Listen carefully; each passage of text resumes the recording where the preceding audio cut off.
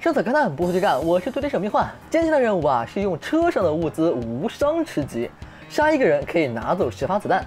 车上，我车开的是挺多，但是车上有物资，安全带捆绑，方向盘飞镖。我努力探索我记忆的深处啊，到底哪里才能执行这项任务啊？我甚至想起了我小学时喜欢的女孩子的脸庞啊，可惜现在已经快成人期了，我还是个单身汉。终于经历了一场头脑沙尘风暴，想起了在执行之前的任务时。在军港好像有几辆拉货的车，那也只能死马当活马医了。啊哈，还真有几辆小破车啊。大哥心情好，别的可以没有啊，反正要求无伤，头甲药都无所谓，但是枪得给我把把。哇哦，M 四爽。一低头一级包，这局大有希望啊！我记得在那头还有一辆，我的记忆迫使我搜东西一定要按照顺序搜，啊不然一块地方我能反复搜一年。有脚步声，先整死再说。在屋里小心不要被打到了。这么偏远的小破店儿都有人来啊！听我说一句，哪里肥你们就直接跳哪里就行了，真的没有几个人啊！你这个 ID 感觉信息量好大，不行不行不行，有画面感了。我们继续去找车。后面又有人干嘛呀？这里那么富有吗？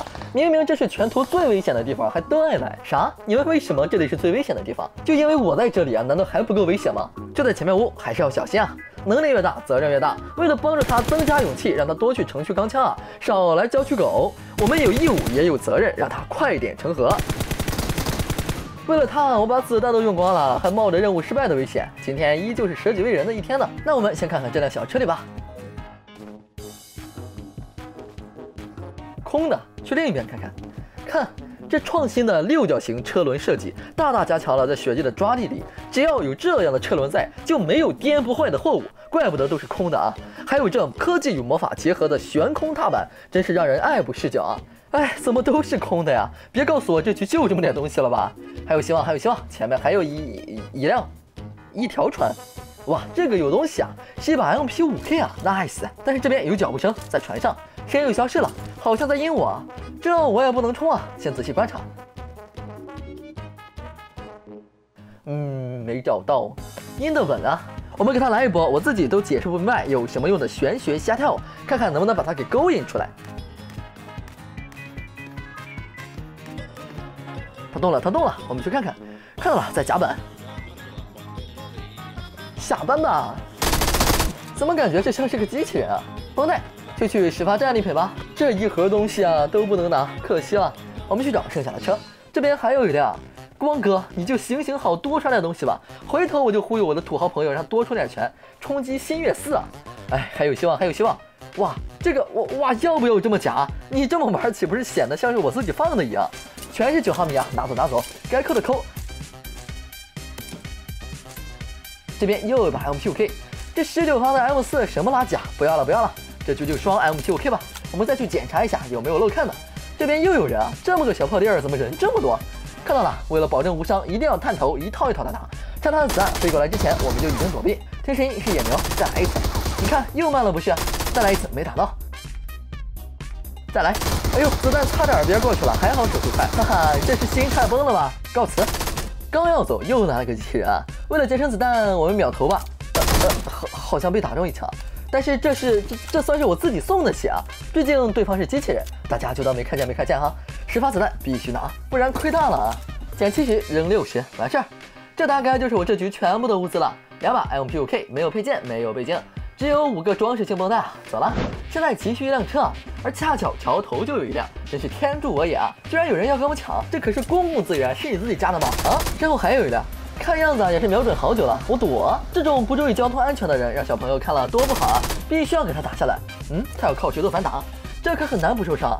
还好还好，看来这个铁头老司机啊，一定要撞死我才行。可以说是十分配合了，搞定。费了我二十二发子弹啊，我才只拿走了你十发，其他东西该是你的还是你的，你赚大了，我跟你讲。我们撤，经过一番辛苦的找人，真的努力了，确实找不到啊。这个图的人在哪儿？我完全猜不透啊。空投都没人来捡啊，一个个都失去了梦想啊。没办法，我们就去房区等他们吧。外面枪声不断，但我为什么能够心平气和、耐住性子，连看都不看一眼呢？难道这是什么新战术？其实我只是挂机去洗手间了。等我回来后，我开始寻找敌人的身影。这里窗子多面漏风，还是趴下比较安全。但是这地板是不是有点凉啊？我的腿毛都立起来了，快把裤子给穿透了。安全区再刷新，我们要转移。通过宽敞的大厅，我来到新的据点。通过枪声，敌人的位置大概锁定了。突然，楼下传来沙沙的脚步声，在雪地，脚步声听起来更加明显。看样子他应该也是发现了我在这座楼上了，打算过楼。即使我是守楼的一方，也很难保证无伤啊。所以为了避免正面冲突，看看能不能从后面偷偷摸摸做了他。他已经到了房屋正面了，就在隔壁房间内。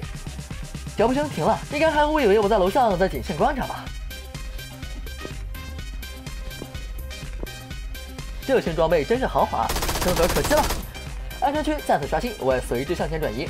圈儿都这样了，应该不会有傻子还在海边吧？毕竟随便一个楼就能轻松卡死他呀。还剩七人，枪声响起，敌人的位置也大致锁定了。不过这把枪几乎没有远程作战能力啊，只能等他们摸过来，或者一会儿毒圈刷到那边，我们也跟着冲过去。楼下脚步声虽然很轻，要趁他到正面之前解决啊。是一位有眼光的敌人啊，知道这里居高临下，战略位置重要，依山傍水，用来做坟头倍有面啊，明智之举。看到前面的敌人了，但是这个距离无法动手啊，看样子他是想开车过来。别着急，应该会有人帮我制裁他。来了来了，哎，怎么去了那边？哈哈，谢谢帮我赶过来了，那该我了，要等他反应过来之前干掉。真是惨啊！不过还好，到现在还保持着无伤，就剩最后五人了，吃鸡有望。又少了一人，四人了，三人了，有一名在前面，估计剩下的一位也差不多吧。安全区暂时刷新，该撤了。轻轻松松又是一局击啊！我们从外围绕到石头后，应该问题不大。为什么？为什么这么作死的位置都会有伏地魔啊？我连看都没有看。果然，我还是不懂伏地魔的世界啊！我是迷幻，我们下期再见。